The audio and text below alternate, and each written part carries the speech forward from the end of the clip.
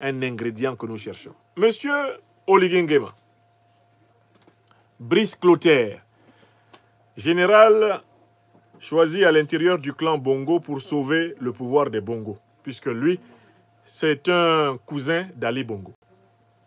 Monsieur Brice Ngema, qui bénéficie bien sûr de la magnanimité de toute la France-Afrique parce qu'il est un putschiste néocolonialiste, un putschiste révolutionnaire de paix, un putschiste bon teint comme Mahamad Kakadebi, Alassane Raman Ouattara, un putschiste bon teint. Comme euh, a su l'être euh, pendant plus de 30 ans au moins Paul Biya, putschiste constitutionnel, Sassou Nguesso de Nice, comme a su l'être Idriss Déby, Foria Singbe, avant lui son papa, comme a su l'être depuis 30 ans en Côte d'Ivoire Alassane Draman Ouattara, le satrape reptilien venu de Sindou pour troubler la paix des Ivoiriens, et ayant renié notre belle terre de Sindou pour troubler toute l'Afrique, comme se comporte aujourd'hui Macky le vassal en chef du Sénégal, Olegui Nguema se contorsionne et se prend de nous expliquer les principes qui guident son action brouillonne. Le général Oligui Nguema promet des institutions plus démocratiques. Il promet plus de démocratie au Gabon. Le chef des militaires, nous dit la presse, ayant pris le pouvoir au Gabon, s'engage à réorganiser des institutions gouvernementales dans le pays pour les rendre plus démocratiques. Le général Brice Oligui Nguema, nouvel homme fort du Gabon, a promis vendredi de réorganiser les institutions dans un sens plus démocratique et plus respectueux des droits humains, dans un discours devant le corps diplomatique retransmis à la télévision. La dissolution des institutions décrétée mercredi lors du coup d'État est temporaire et il s'agit de les réorganiser afin d'en faire des outils plus démocratiques et plus en phase avec les normes internationales en matière de respect des droits humains, des libertés fondamentales, de la démocratie et de l'état de droit, mais aussi de la lutte contre la corruption qui est devenue monnaie courante dans notre pays. Fin de citation, a-t-il déclaré. Il n'a pourtant fixé de durée pour la transition pour laquelle il va prêter serment en tant que président lundi à Libreville. Dans un autre discours devant les représentants de la société civile, il a également promis une nouvelle constitution qui va dans le sens des aspirations du peuple gabonais resté trop longtemps dans la souffrance, et un nouveau code électoral en ajoutant toutefois, compte tenu du contexte, ne confondons pas vitesse et précipitation. Qui va lentement, va sûrement. Fin de citation. Voilà les propos de M. Oligui Nguema que je vais passer maintenant au crible de l'analyse critique.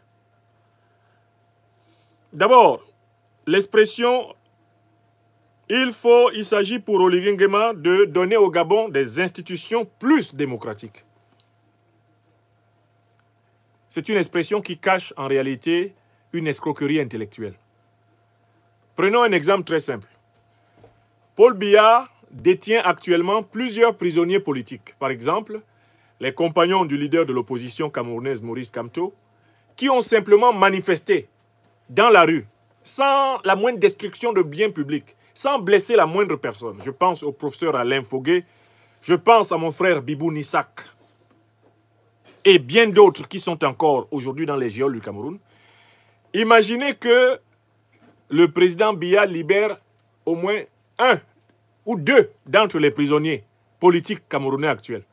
Ça donne quoi? Ça fait qu'il aura posé un acte qui fait que le Cameroun sera un peu plus démocratique, puisque ce n'est qu'une affaire de degré.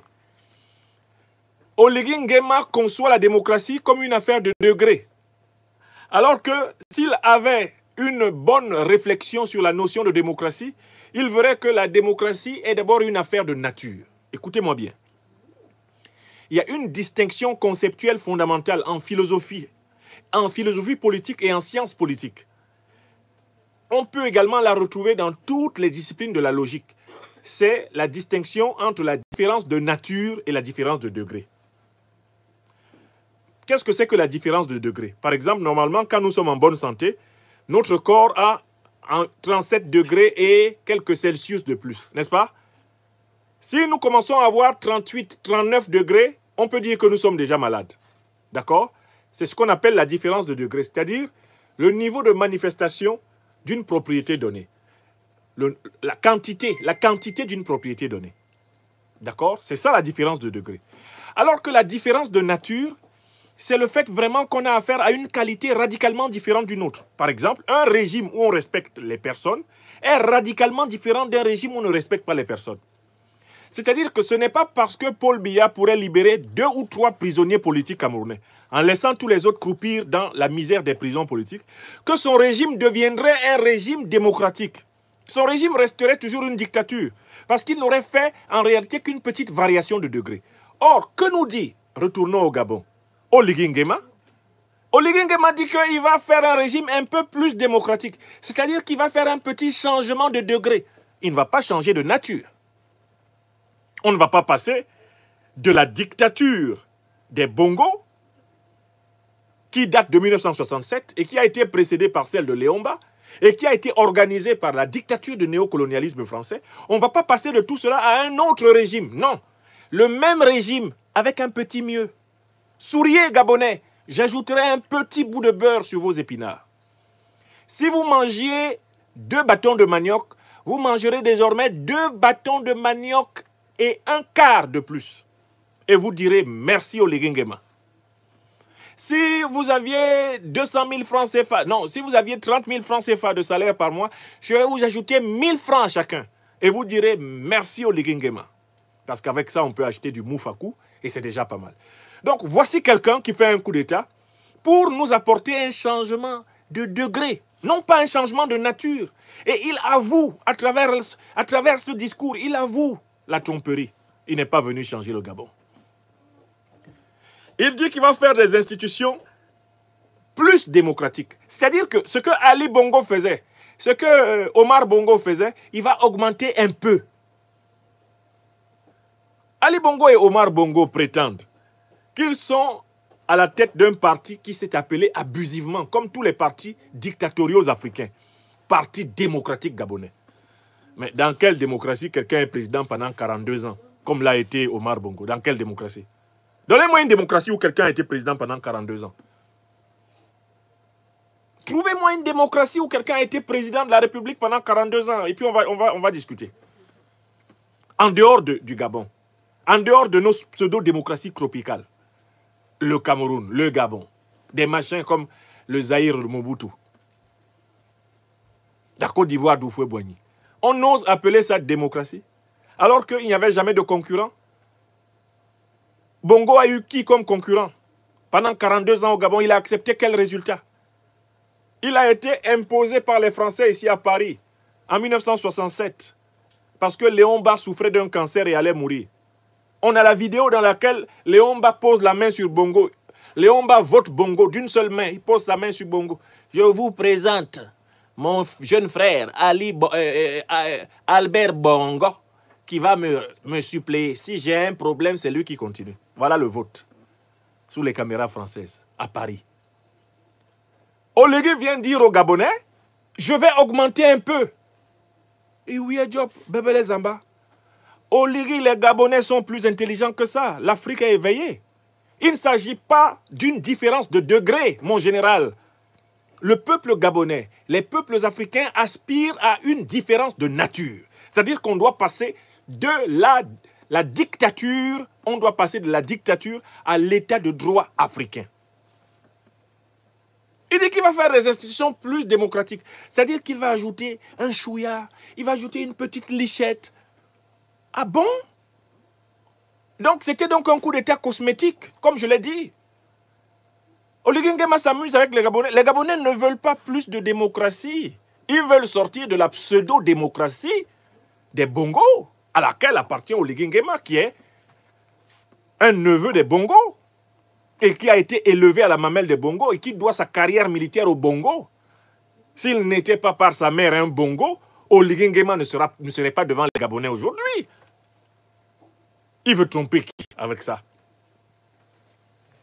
Le professeur Ondo Ossa a été d'une clarté royale. Il a dit, c'est même pas un coup d'État, c'est une révolution de palais.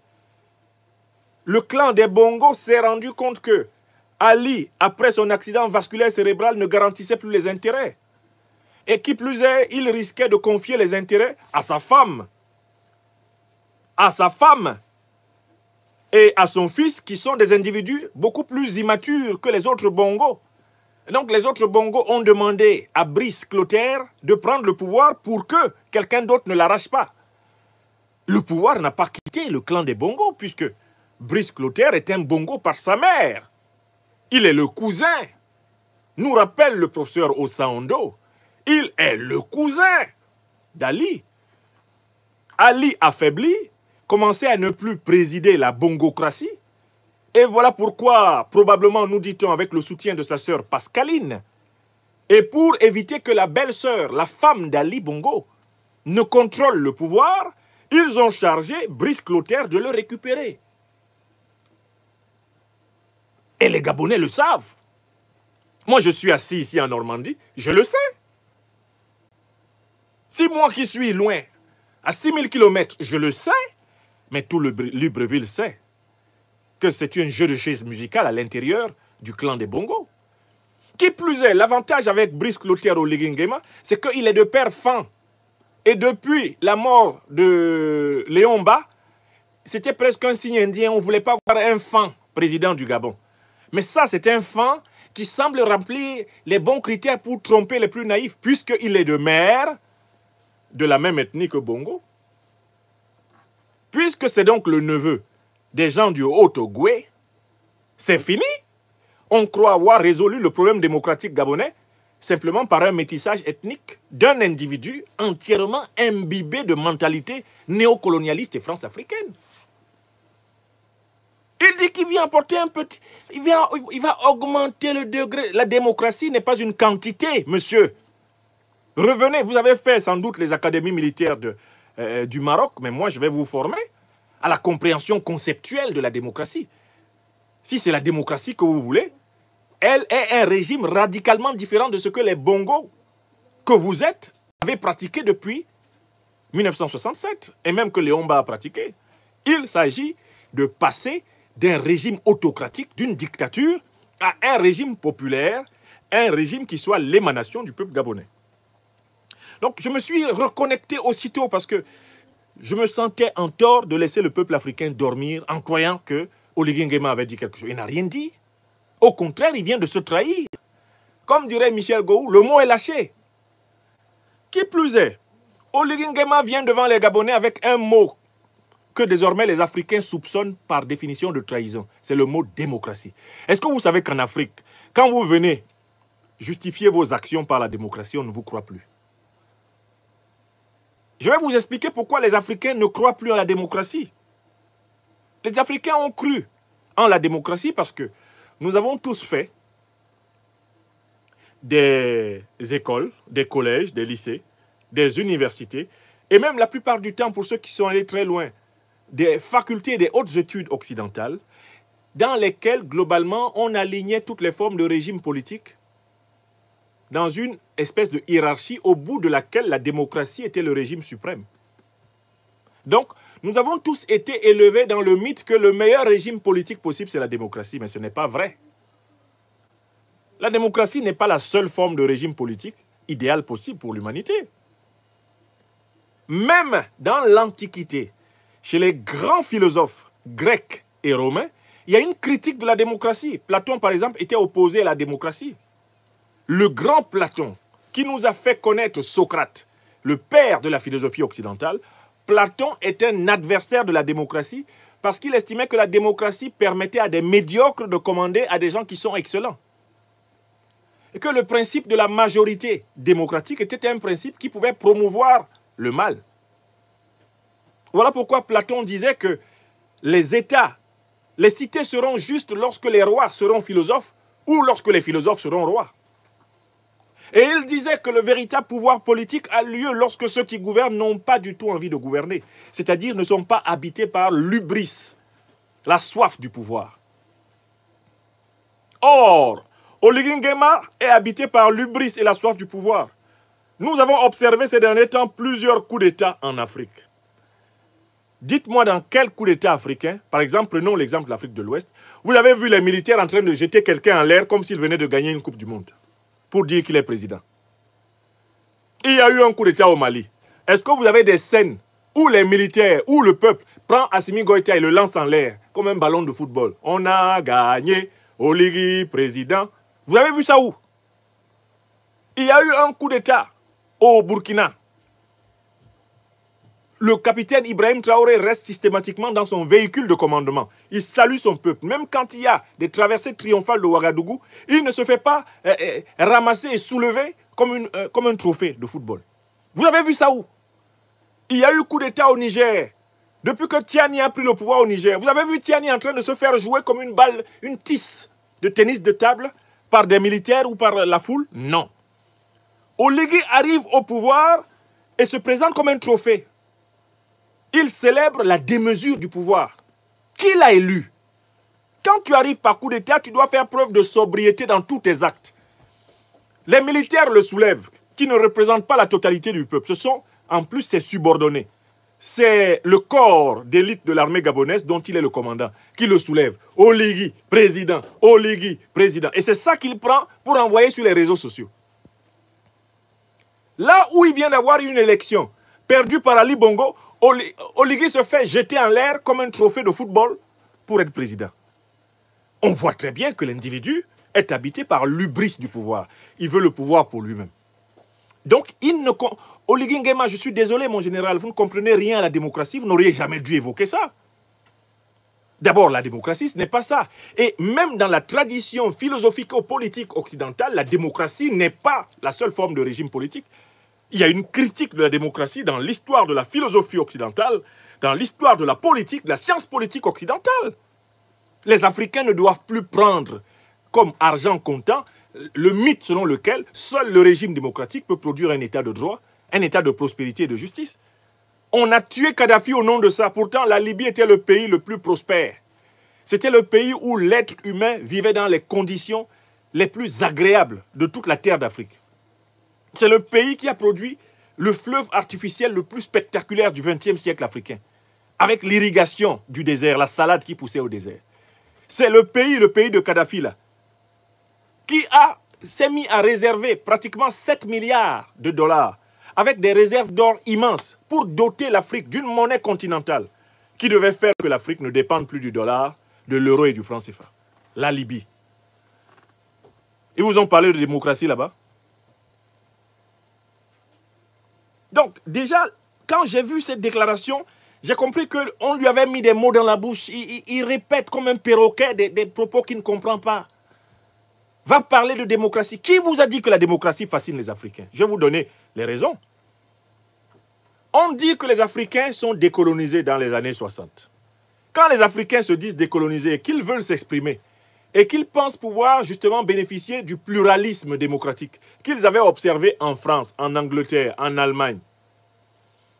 On impose le parti unique avec le soutien des anciennes puissances coloniales. Presque toute l'Afrique est couverte de partis uniques. Et on dit que désormais la démocratie va se faire à l'intérieur du parti unique. C'est bizarre quand même. De 1960 à 1990, la quasi-totalité de l'Afrique en général et de l'Afrique francophone en particulier était couverte par des partis uniques. Or, dans le parti unique, il n'y a pas de concurrence. Il y a un président, c'est tout. Il est élu avant même d'organiser le vote. Celui qui doit lire les résultats, c'est qu'il ne faut pas qu'il compte les, bulletins. Ça ne sert à rien. J'entendais toute mon enfance. Je suis né en 1972. Toute mon enfance, j'entendais seulement au Cameroun. 99,99% pour le, grand camarade Amadou Aïdjo. Matin et midi et soir, je me dis, mais je disais, mais il est fort ce gars-là. Il gagne toujours 99, des fois même il a 101%. Les Africains sont habitués à des choses incroyables où dans certains bureaux de vote, il y a plus, euh, a, il y a plus de suffrages que de votants. Oui on dit qu'il a gagné avec 101%. On dit Astafroulaï. Il a fait comment? La démocratie, en fait, a été introduite en Afrique sous la forme d'une farce, d'une comédie tragique.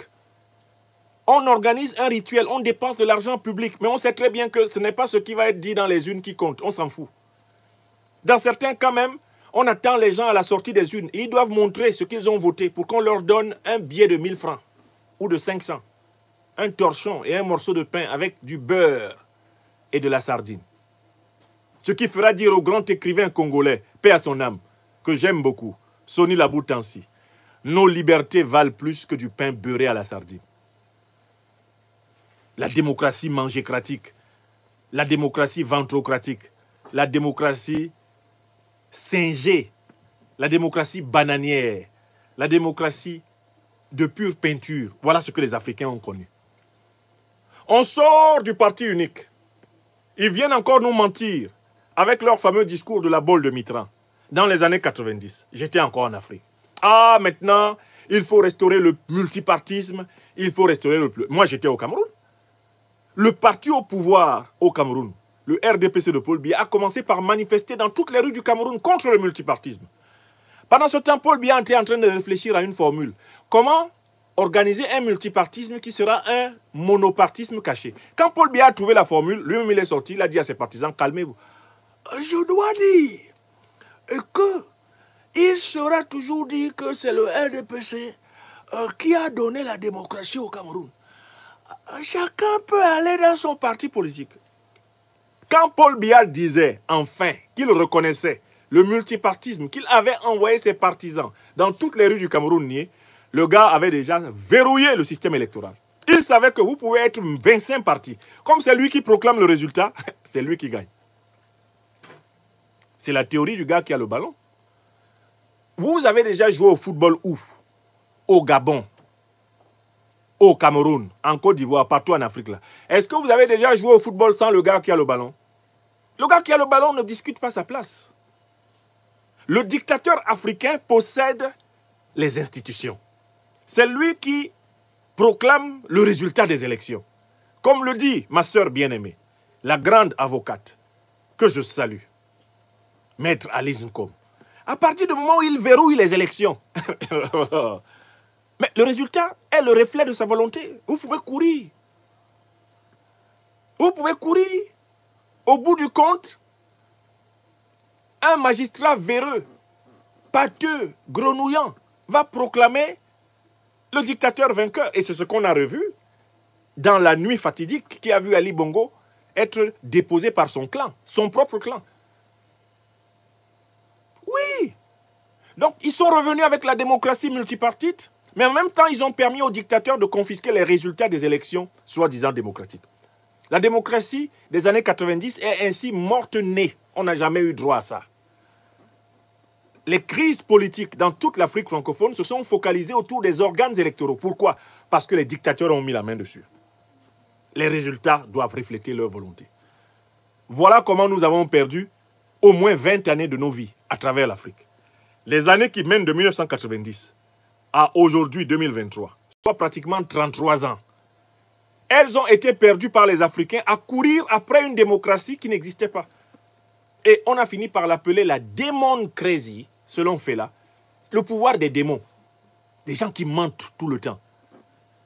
On a également appelé ce système la démocrature, c'est-à-dire un vernis de démocratie.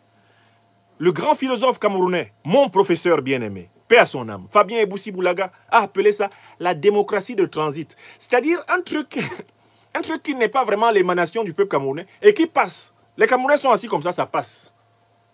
Et eux aussi, ils disent, et on, a un parti qui s'appelle le Rassemblement démocratique. Euh, d'autres partis, l'Union démocratique. Euh, euh, L'UNDP, Union nationale pour la démocratie. Tous les partis de ces pays non démocratiques adorent mettre le nom démocratique dans leur nom. Précisément parce qu'ils ne le sont pas. Ce sont des dictatures. D'abord, une dictature nationale. Dans les partis, ce sont des dictateurs qui sont installés à la tête des partis. Surtout quand le parti porte le nom de démocratie en son sein, tu sais que le chef, c'est le, seul qui décide. Il n'y a pas de souveraineté dedans. La démocratie, c'est l'exécution par tous les autres de la volonté d'un seul. Donc, de 1990, au moment où je vous parle, le concept de démocratie n'a pas été vécu concrètement par les Africains. Et pourtant, on s'est mis à conditionner l'aide financière internationale, les financements du FMI, de la Banque mondiale. On s'est mis à tout conditionner à la démocratie, à quelque chose qui n'existe pas. C'est là où j'ai compris qu'en fait, même l'argent, les dollars qu'on prêtait aux Africains n'existaient pas. Puisque si on te dit que pour que on te prête de l'argent, il faut que tu fasses quelque chose qui n'existe pas. Toi, tu sais qu'en fait, ça veut dire que même cet argent-là n'existe pas, on est en train de te voler. On dit les conditionnalités des programmes d'ajustement structurel. Eh, ça comprend les droits de l'homme, ça comprend les droits, eh, l'égalité de genre, ça comprend eh, les indices de démocratie, ça comprend le développement humain. Tous ces critères-là, jamais personne n'a vérifié qu'ils existaient. Il te suffit de remplir des formulaires. Tout le monde sait. À Bretton Woods, ils savent que tu mens. Toi-même, tu sais que tu mens. Le monde entier sait que tu mens. Mais euh, nous avons atteint euh, l'initiative PPTE.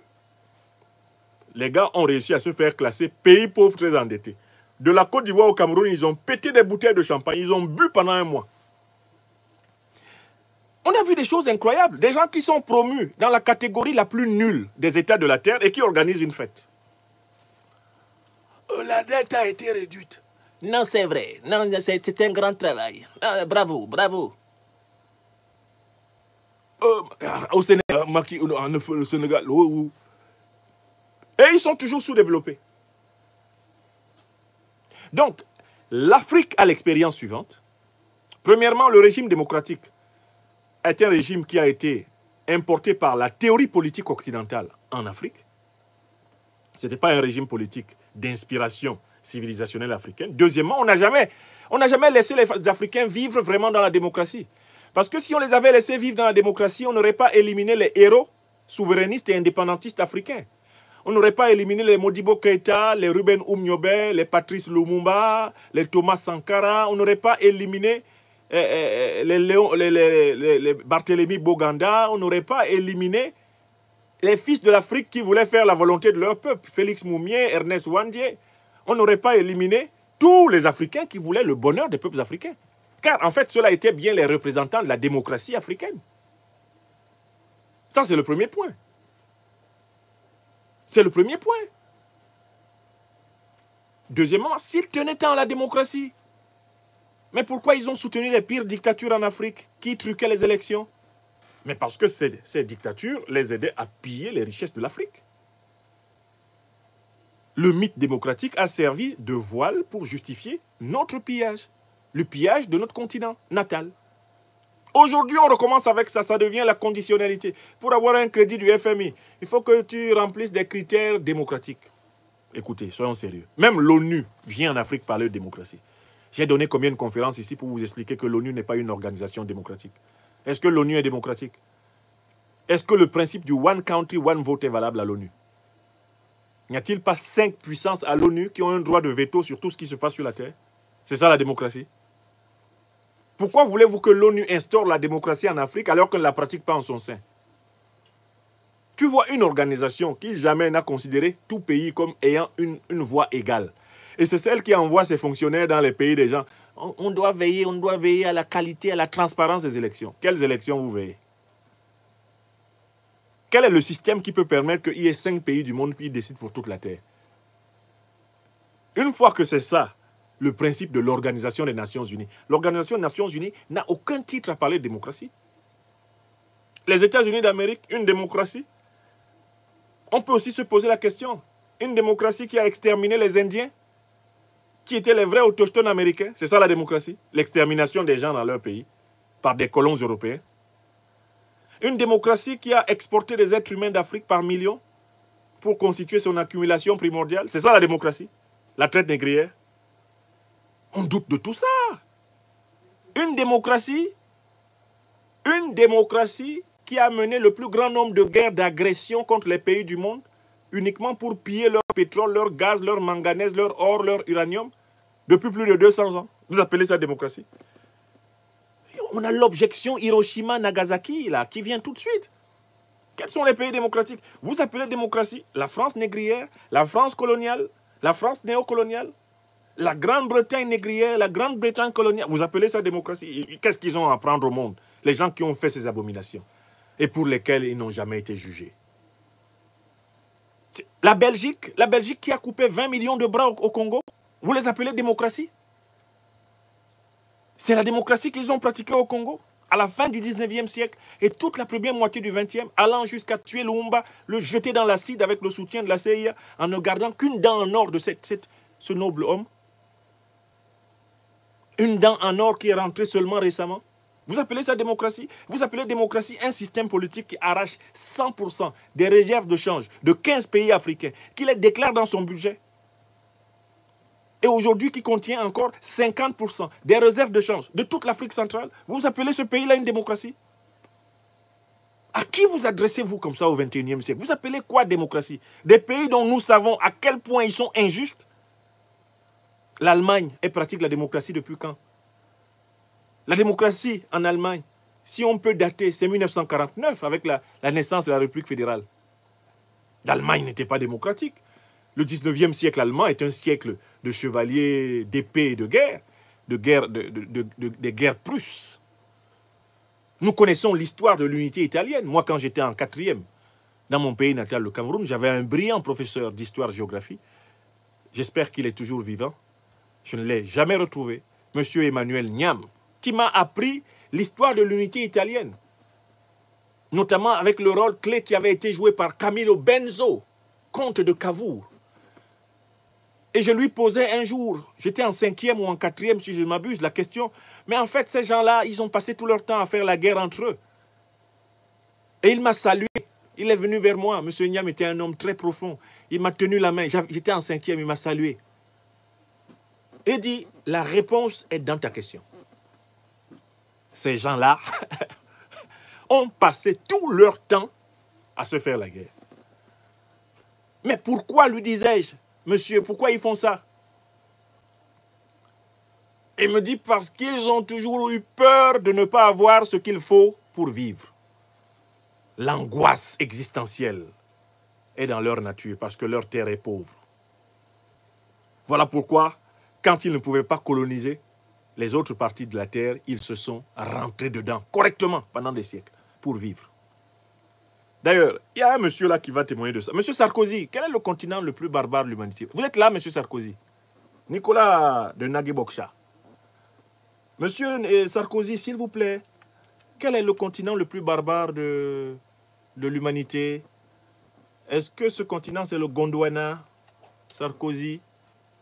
Monsieur Sarkozy, vous, vous arrivez Monsieur Sarkozy Monsieur Sarkozy, vous arrivez ou pas? Bon, il arrive. Monsieur Sarkozy, dites-le. Dites-nous quel est le continent le plus barbare de l'humanité, s'il vous plaît. Ce n'est pas compliqué. Vous êtes bien placé pour tout ce que vous avez fait. Ok, très bien. L'Europe, mhm. de tous les continents du monde, oui. est le continent le plus brutal, oui. où il y a eu les guerres les plus sauvages. Très bien, merci. C'est pas l'Afrique, c'est pas l'Asie. Merci, merci, Monsieur Sarkozy, c'est bon. Faut pas énerver tout le monde. Faut pas énerver les Européens. Ça, ça fait beaucoup de vérité, ça. Bon, écoutez, donc, Ngema se lève à Libreville et il veut augmenter la dose de démocratie. Docteur Ngema veut injecter un peu plus de démocratie au Gabon. Nous lui disons non. Nous lui disons non parce que déjà même le paradigme démocratique, les Africains ne veulent plus de ce chantage. Nous lui disons non à cause d'une autre expression qu'il a employée. Il va rendre le système beaucoup plus respectueux des droits humains. Qui a défini les droits humains? Qui définit les droits humains en Afrique? Ce sont les Occidentaux. Pour Ngema, oui, puisqu'il continue en disant il s'agit d'institutions plus démocratiques et plus en phase avec les normes internationales. Les normes internationales. Mais qui définit les normes internationales? Tout le monde sait que les normes internationales sont l'expression de ce qu'on appelle la communauté internationale, c'est-à-dire des puissances qui ont gagné la Deuxième Guerre mondiale et par essence les puissances occidentales. Donc, Ngema avoue qu'il veut aligner le Gabon sur les normes internationales. Mais il y a un petit problème là. Et je pose cette question à Ngema. Mais quel est ce démocrate qui est pressé de se faire déclarer, de se faire introniser comme président d'un pays sans avoir consulté toutes les forces vives et les avoir écoutées? C'est quelle démocratie ça, Oligui Ngema, venez ici. Za. Za Moune, Ngema. Makobo je suis en train de parler les Wondo de mon pays, que tu comprends en tant que fan du Gabon. Parce que c'est le même groupe ethnique. Za, ma belle Zam, ma Yikwobo. C'est quelle démocratie on fait un coup d'État mercredi et lundi après, on se fait introniser président, comme tu as prévu. Dans quelle démocratie tu as vu ça? Si tu savais Mon jeune frère, parce que tu es mon cadet, Oligui Nguema. J'ai appris que tu as 49 ans. 48 ou 49. J'en ai 51. Oligui Quelqu'un qui dit qu'il va instaurer la démocratie ne se proclame pas précipitamment président. Il organise d'abord une large consultation des forces vives de la nation pour obtenir le consensus sur la base de son programme de gouvernement. Et c'est à ce moment, après avoir écouté les uns et les autres et les avoir convaincus, qu'il peut être, avec leur accord, proclamé président de transition. Mais, Oligui, il faut voir le temps qu'Assimi Goïta a pris pour être proclamé président de la transition. Il faut voir les consultations qu'il a menées avant d'être proclamé président de la transition. Il faut regarder ce que le capitaine Ibrahim Traoré a fait. Il faut regarder le temps qu'est en train de prendre le président nigérien de fait, le président Abou Draman Tchani au Niger, avant d'organiser sa cérémonie d'intronisation. Mais, Oligui, pourquoi tu es pressé d'être président si tu prétends être démocrate? Quel est ce démocrate qui ne consulte pas largement le peuple? En consultant largement le peuple, mais Oligui, tu apprendrais tout de suite qu'il y a un monsieur là qui s'appelle le professeur Ondo Osa, qui a battu Ali Bongo, ton cousin, aux élections. Et tu saurais que tout le monde sait que tu as fait le coup d'État pour empêcher que Ondo et Osa exercent le pouvoir. Tu as été poussé par le clan Bongo, en tout cas à l'intérieur du clan Bongo, par les rivaux d'Ali et de sa femme, tu as été poussé par eux pour prendre le pouvoir parce que tout le monde a bien vu que c'est Ondo Osa qui a gagné. Et vous craignez en plus que dans l'armée, il y ait des militaires qui soient des patriotes, des panafricanistes, des révolutionnaires authentiques, et qu'ils viennent vous damer le pion à vous tous. C'est pour cela que tu as fait le coup d'État. Donc, si c'était pour la démocratie, mais pourquoi tu es pressé de t'installer au pouvoir, mon frère? Pourquoi, en moins d'une semaine déjà, mercredi, mercredi donnant à lundi, ça fait même pas une semaine, même sept jours, même Dieu, selon la théologie monothéiste juive, selon la théologie monothéiste chrétienne, la théologie monothéisme, monothéiste musulmane, Dieu a pris sept jours, sept avant de dire qu'il a fini de faire l'homme. Toi, tu fais un coup d'État mercredi. On n'est même pas encore arrivé à mercredi prochain, tu veux déjà t'introniser président et tu oses dire que tu vas faire plus de démocratie. C'est de la démocratie, ça. Tu as reçu en dos ça pour savoir ce qu'il pense. Lui qui a gagné les élections contre Ali. Tu l'as reçu. Tu as écouté. Est-ce que tu as écouté le peuple gabonais avant de dire que toi, tu vas... Le peuple gabonais t'a dit qu'il veut plus de démocratie. Il t'a dit ça. Est-ce que le peuple gabonais sait ce que c'est que la démocratie? Est-ce que c'est ce que nous voulons en Afrique? Non. Nous voulons un état de droit africain, respectueux de la civilisation africaine. Nous avons redressé conceptuellement la question politique africaine. Ce n'est plus la question de la recherche de la démocratie. La démocratie, c'est le paradigme politique de l'Occident. Le paradigme politique de l'Afrique, c'est la tradition africaine. Et il y a un concept fondamental de la tradition africaine dans la langue sacrée de l'Afrique multimillénaire, le Médounétaire, qui s'appelle le concept de Maat. Notre paradigme politique, on peut l'appeler la Maatocratie, l'Ubuntucratie, la Kurukanfugancratie, la Buiticratie. Puisque la notion de Buiti, c'est-à-dire l'ordre sacré de la nature et de la création, est en fait la photocopie de la notion de Maat. Olivier, mais écoute au moins quelques bons intellectuels gabonais qui sont là à Libreville avant de parler, au lieu de répéter la dictée des maîtres néocolons qui sont là pour te monter afin de mettre en place la continuité de leur exploitation de notre peuple au Gabon. Qu'est-ce que ça te coûte d'être un grand homme?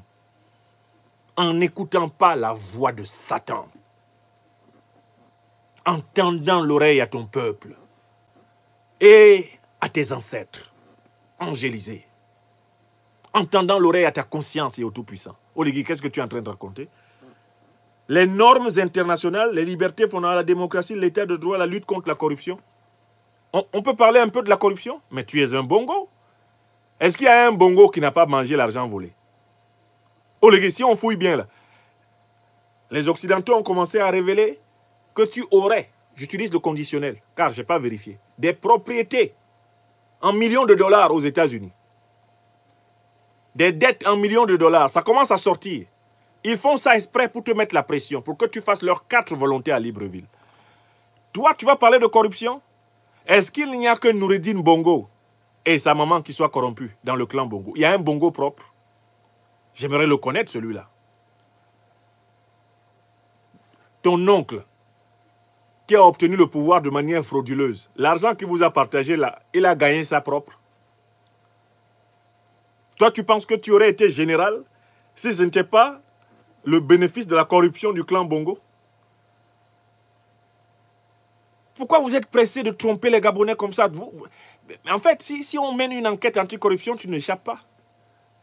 On ne peut pas être commandant de la garde républicaine sous Ali Bongo et ne pas être corrompu. Si on fait une enquête sur tes biens, tu es sûr que ça va être propre? Tu as eu tes biens là propres? Si on trouve que tu as des villas aux États-Unis, des propriétés à grosse tu vas justifier ça devant les Gabonais? On comprend pourquoi tu ne veux pas le dialogue national. Parce qu'il y a des Gabonais qui te connaissent. Et qui, si lorsqu'on va organiser les assises nationales, viennent avec les preuves. Ils vont dire, Oligui, tu as cette villa de 2 millions, 3 millions de dollars aux États-Unis. Tu as eu ça comment? Tu ne peux plus être président de la transition. Si on pose sur la table des preuves que tu posséderais des biens illicitement obtenus, c'est fini, tu n'es plus président de la transition. Donc tu es un antidémocrate.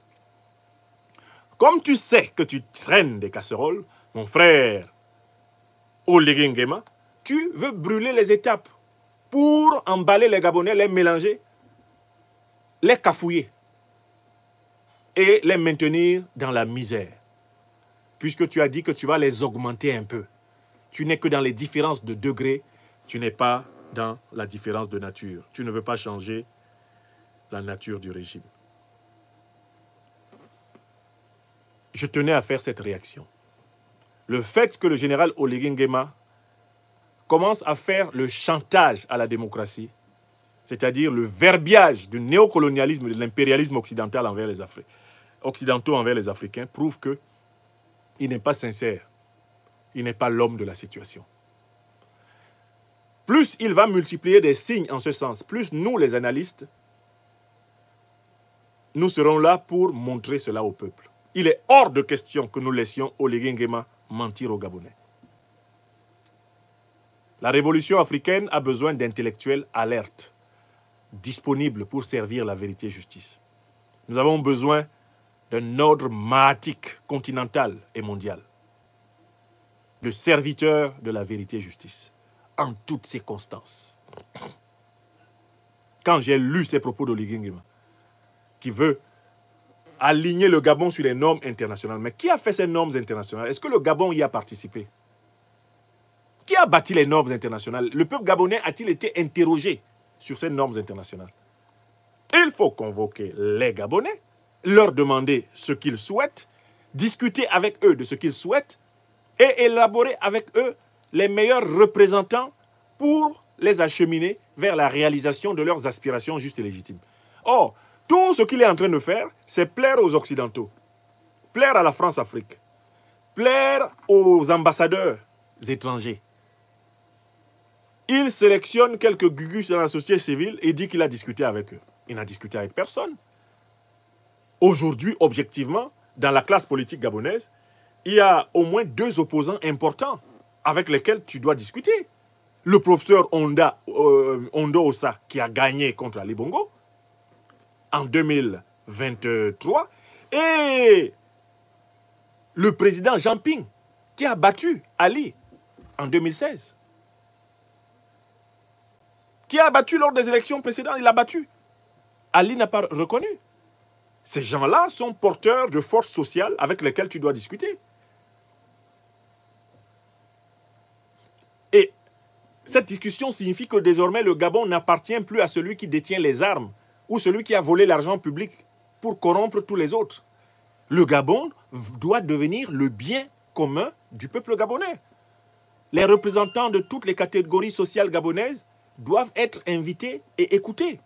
Pourquoi tu es pressé de te proclamer président? Si tu es soi-disant démocrate, dans quelle démocratie on fait un coup d'État et on se proclame président en invoquant le fait qu'on va apporter plus de démocratie? Comparons la vitesse à laquelle tu veux te proclamer et puis la facilité avec laquelle toute la presse mainstream de la France-Afrique t'aide pour ça. On voit très bien que tu es suspect.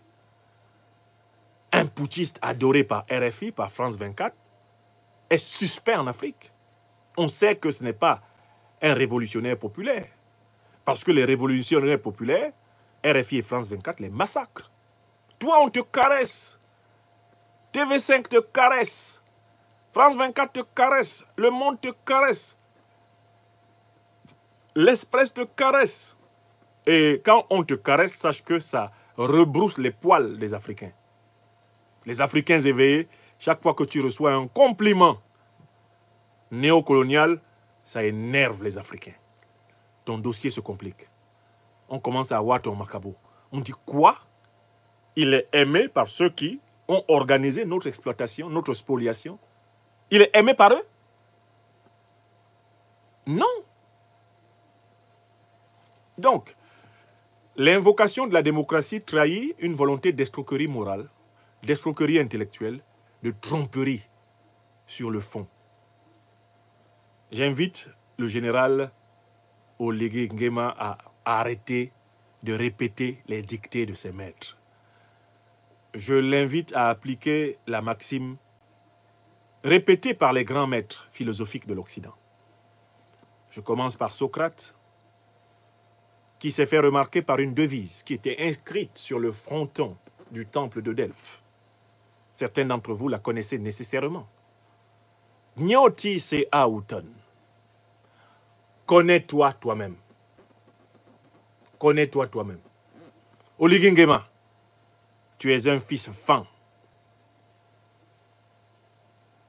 Par ta mère, tu es de l'ethnie, je pense, des Bateke, de l'Ogwe et du Congo, Brazzaville, comme ton oncle, le président Bongo, comme ton cousin, le président Ali Bongo.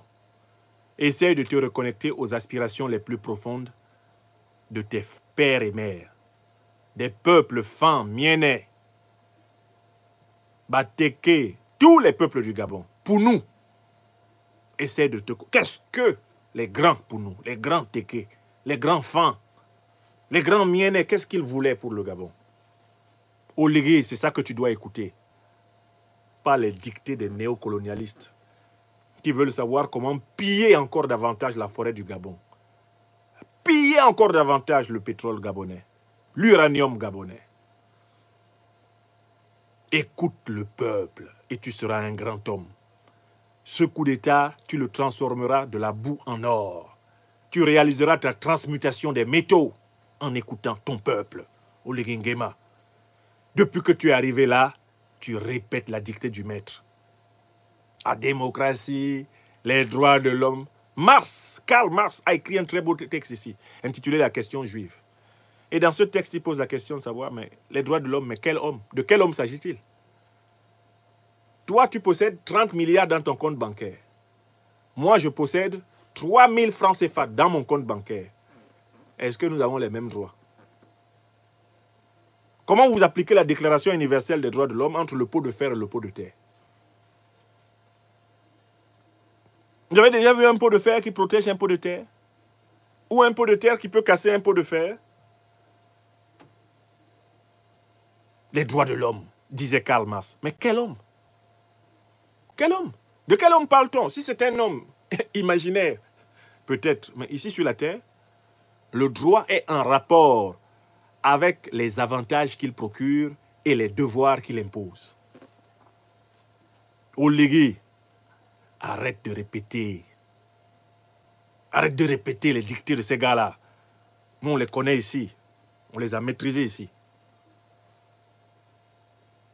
On sait et on vous explique depuis des décennies la filouterie du néocolonialisme. Tu as fait l'école des officiers de Rabat au Maroc.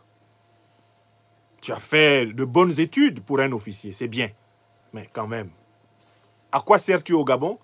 Si tu es là pour ajouter un petit chouïa, un brin de démocratie de plus Un pays de 3 millions d'habitants, une démographie bloquée, j'ai jamais compris ce qui se passe dans ce pays. En 1960, vous n'étiez même pas un million. On est en 2023, vous ne dépassez pas 3 millions. Il y a quoi dans ce pays? Il, faut, il y a, des choses à comprendre. Pourquoi il n'y a pas assez de Gabonais?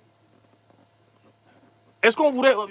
Posez-vous la question, est-ce qu'on ne vous a pas stérilisé par hasard? Il y a des questions que vous devez vous poser. Au point qu'à un moment donné, l'immigration est un problème au Gabon. Parce que le Gabonais ne fait pas assez d'enfants, n'ayant même pas les moyens de les nourrir. Voilà les problèmes qu'il faut résoudre dans notre terre.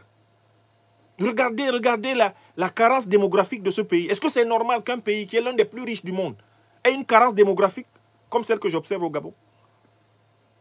Ça, c'est l'un des mystères. Et j'aimerais voir arriver au pouvoir au Gabon des gens qui vont m'expliquer ça. Le Cameroun, là, il y avait 3 millions de gens en 1960. Il y a bientôt 30 millions de gens. Le Gabon, depuis que je connais le Gabon, population fixe, il y a quoi? Qu'est-ce qui s'est passé là-bas? Voilà les problèmes que vous devez euh, regarder. Pourquoi nous, pourquoi nous ne nous reproduisons pas assez? Pourquoi nous ne transmettons pas une population assez vigoureuse. Pourquoi nous ne sommes pas les maîtres de notre agriculture? Pourquoi nous ne sommes pas les maîtres de nos mines? Pourquoi nous ne sommes pas les maîtres de nos banques? Voilà, voilà des questions que le grand peuple africain du Gabon doit se poser.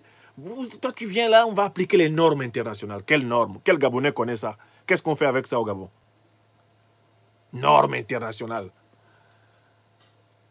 Oligui, si on vous demande comment les normes internationales là ont été construites, vous pouvez expliquer ça devant le peuple gabonais?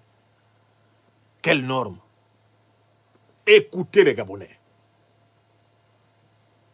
Rassemblez les Gabonais. On va vous menacer. Mais appuyez-vous sur votre peuple pour vous protéger. C'est comme ça qu'Assimi Goïta a fait. C'est comme ça qu'Ibrahim Traoré a fait. C'est comme ça que Tiani a fait. C'est comme ça que nous devons tous faire pour émanciper l'Afrique. Arrêtez ça. La démocratie, les droits de l'homme, les normes internationales. Ça se dit comment dans nos langues? Ça se dit comment dans nos langues? Il faut me dire comment ça se dit en fan, comment ça se dit en miennet. Parce que moi, la notion de maths, je te l'ai dit en bassa. L'itelepsep. Les bar les telepsep. John, basso se rôle, bien se les maths. Les bar les la condition d'être juste, la nécessité de la justesse. Toi, tu dis quoi? La démocratie. Est-ce que tu comprends même ce que tu dis? Hein? Comme le demande euh, le grand comédien ivoirien euh, Omega David à un moment donné à deux côtés. Deux côtés jouent dans un sketch le rôle de celui qui veut convertir Omega David. Et Omega David fait le fou qui ne comprend pas qu'on veut qu'il devienne chrétien. Mais à un moment donné, il dit à deux côtés, mais toi, quand tu parles, est-ce que tu comprends ce que tu dis? On doit dire à Oligingema, mon frère, est-ce que toi-même tu comprends ce que tu dis? Tu es allé là-bas, on t'a envoyé, donné une fiche. Leurs conseillers sont là, ils ont toujours des discours préparés. Tu lis aussi. On t'a dit lis, tu lis. Il n'y a pas un moment de ta vie où tu ne peux pas eh, tu, t'asseoir et penser. Est-ce que tu ne peux pas penser au lieu de répéter, de rhapsodier dans un psittacisme désuet? Ah, les droits de l'homme, la démocratie, je vais augmenter un peu. Qui t'a demandé ça? Est-ce qu'il y a un individu dans un pays qui, lui tout seul, peut augmenter un peu de droits de l'homme et de démocratie à tout le monde? Est-ce que la démocratie, là, c'est comme la farine qu'on nous vendait souvent au quartier quand nous étions enfants dans la main? Tu vas, tu donnes 5 francs, tu tends la main au boutiquier, mets ça dans le creux de ta main et puis tu pars en lapin. C'est comme ça la démocratie. Olivier, au Kalgar, Manga Karwa, il faut arrêter ça. Nous sommes debout avec le peuple gabonais. Et nous demandons au peuple gabonais de suivre les consignes extraordinairement sages et profondes du professeur Ondosa et de tous les partisans de la marche de la transition vers l'état de droit gabonais. Restez mobilisés. Vous avez une opportunité extraordinaire. Vous avez pris la rue. L'armée, la police ne vous ont pas tiré dessus. Gardez la rue. Dites à Oligui Nguema qu'il doit faire la volonté du peuple gabonais. Non pas la volonté des néocolons, mais la volonté du peuple gabonais. Je me suis connecté pour dire ça. Quelqu'un qui vient là, la démocratie, les droits de vous dites non, attends. On nous a dit ça de 1960 à pratiquement 2010. C'est bon. À cause de ça, ils sont venus tuer Kadhafi. Après, on a découvert que c'était pour son or. C'était pour son pétrole. Donc, il ne faut plus venir nous dire en Afrique que vraiment tu viens agir au nom de la démocratie. Dès que tu dis ça, on te chasse. On te dit, montre ta nuque. C'est une foutaise. Est-ce que la démocratie s'importe? Elle ne s'exporte même pas. Les gens choisissent ou ils ne choisissent pas ce style de régime politique. Nous, nous voulons un régime politique africain traditionnel, un régime matocratique. N'est-ce pas, M. Sarkozy? D'autant plus que ceux qui veulent nous vendre la démocratie, C'est pas au Moyen-Âge, qu'est-ce qu'ils ont fait c'est au XXe siècle. Ils ont fait quoi C'est en Europe qu'on a exterminé des Juifs. Voilà. C'est- Il y avait la C'est en Europe démocratie. qu'on s'est battu. Il y avait la démocratie. Et quand on a dit, avec la guerre russo-ukraine, c'est le retour de la guerre qu'on n'avait pas vue, c'est une stupidité. Merci, M. Sarkozy. Puisqu'on a oublié la Bosnie. Ah oui. Et la Libye. Et l'Irak. Si vous n'avez pas l'Union européenne, vous avez des affrontements Voilà, voilà ce que votre démocratie a produit pendant des siècles. Donc ne nous emmerdez pas. Je vais vous dire une chose. Monsieur Sarkozy, vous pouvez vous taire. Tous les continents du Mais monde. ce monsieur, il ne peut pas se taire. le continent le Il s'est fait tard, là, monsieur il Sarkozy. les guerres les plus Il est- sauvages. Bon, oui, parlez, finissez. on Pas l'Afrique, c'est pas l'Asie. Après, on va écouter la C'est musique. Et je vais vous dire autre chose. Mhm. C'est pas au Moyen-Âge, Ouais, c'est au XXe siècle. merci. C'est en Europe qu'on a exterminé des Juifs. Très bien. C'est en Europe qu'on s'est battu. Mhm. Et quand on a dit, avec la guerre russo-ukraine, c'est le retour de la guerre qu'on n'avait pas vue, Ouais. c'est une stupidité. Très bien. Puisqu'on a oublié la Bosnie. Très bien. Si vous n'avez pas l'Union européenne... Laissez-le finir, il a envie de parler. Considérables. Très bien, merci. Bon, euh, on peut écouter maintenant. Je vais vous dire une chose. Non, monsieur Sarkozy, c'est bon. C'est bon. Et moi, je donne la parole à la maman Africa. C'est bon. On a assez entendu votre sauvagerie, les amis. Portez-vous bien.